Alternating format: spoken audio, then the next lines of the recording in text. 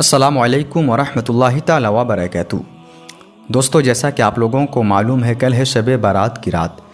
कल जो हम और आप दिन गुजारने वाले हैं और जो दिन गुजारने के बाद जो रात आने वाली है, उस रात को हम लोग शब बारात के नाम से जानते और पहचानते हैं। दुआ है अल्लाह रब्ज़त की, बारगाह में अल्लाह रब्ज़त इस रात की बरकत से शब बारात की बरकत से मुफ्ती सलमान जहरी साहब को जल्द से जल्द रिहाई अता फ़रमाए। दोस्तों, मेरी नज़र के सामने से एक वीडियो गुजरी। मुफ्ती सलमान जहरी साहब की ये वीडियो है।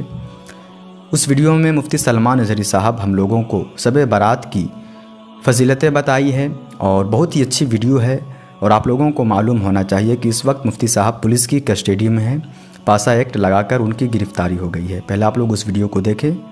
क्या फ़जीलतें हम लोग को बताया करते थे मुफ्ती सलमान जहरी साहब शब बारात के ताल्लुक से? उसके बाद फिर मैं आप लोगों से मुलाकात करता हूँ। एक रिवायत में आपके सामने पेश करता हूँ। शाबान की अजमत क्या है? सुनिए। इसमें जो रिवायत है तफसीर सावी में, फरमाते हैं कि रसूल करीम सल्लल्लाहु अलैहि वसल्लम तेरह शाबान की रात को खड़े हुए। और ये महीना इसीलिए ज़्यादा अफजल भी है कि ये महीना मेरे मुस्तफ़ा का महीना है। और ये सरकार गौसे पाक रदी अल्लाह तु का फरमान गनियत तालिबीन में है कि शाबान का महीना, रसूलुल्लाह का महीना है, कसरत से इसमें अपने रसूल को याद करो। अब मैं आपको बता रहा हूँ, जो रिवायत तफसीर सावी में है, तेरहवीं शाबान को नबी पाक सल्लल्लाहु अलैहि वसल्लम रात में खड़े हुए और क्या किया? क्या किया? तवज्जो। आज लोग दलील पूछ रहे हैं अपने नबी को याद करने के लिए।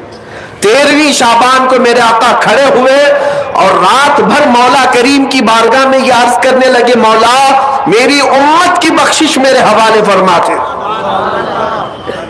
हुजूर ने तेरहवीं शाबान को यह दुआ की तो रिवायत में कि अल्लाह ताला ने इजाज़त अता की कि आपकी वन थर्ड उम्मत की बख्शिश आपके हवाले, आप सफात कर सकते हैं।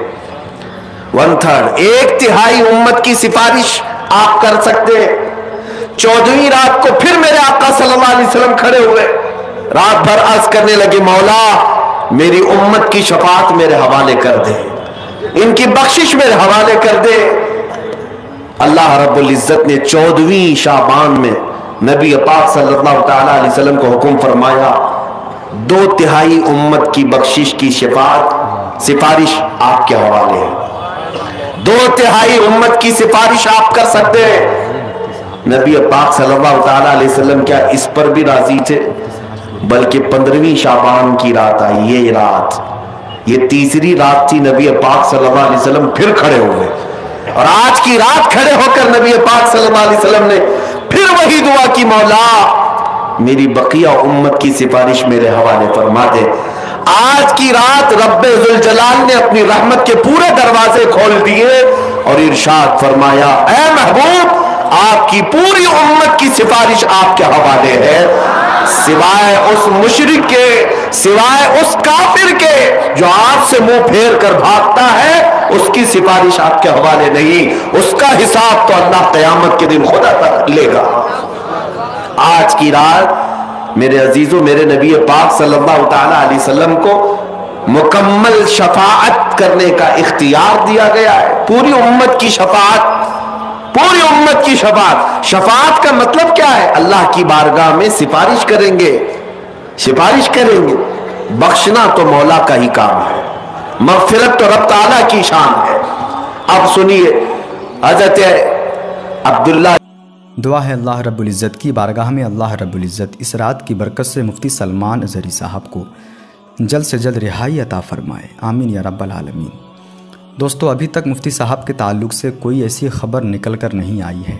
कोई अच्छी खबर निकल कर नहीं आई है।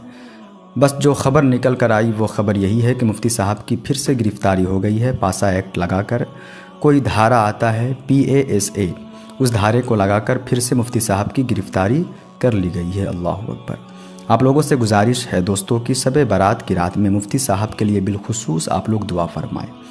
ज़्यादा से ज़्यादा आप लोग दुआ फरमाएँ और मौलाना कमर अली गनी साहब के लिए भी आप लोग दुआ फरमाएँ।